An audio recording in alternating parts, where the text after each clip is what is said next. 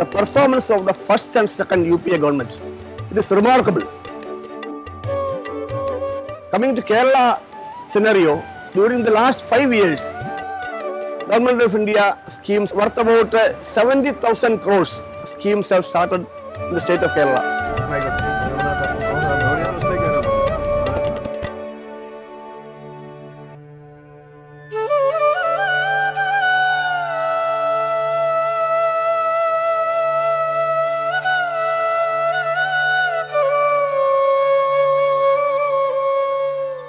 In the national scenario, today Kerala stands first.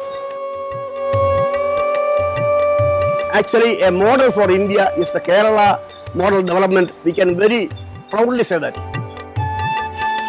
We say Kerala is a role model because of so many reasons. One, we are the most literate state in India.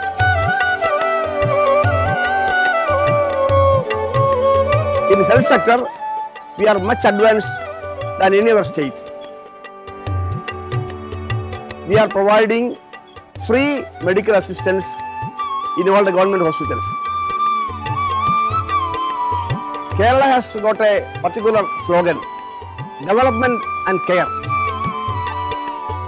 Kochi Metro Rail that is progressing. Kannur Airport, Vizhinjam International Harbour. So all the major flagship programs announced by the Government of India have been taken off. Uh, In rural areas, I can point out three schemes. Amul by Dr. Kurian, who is a Keralite. So a similar scheme is there in Kerala. Milma. Uh, we, have, we have got a primary milk societies. They will be taking care of the rural farmers and we will be collecting milk from them. And Kerala is going to be self-sufficient in milk production. Second is that we are very much benefited by the Mahatma Gandhi NREGA scheme. 1,700 crores as wages for the NREGA workers. About 92% of workers are women. So when this wages, they are getting these wages, their family is benefited. The income goes directly to the welfare of the family.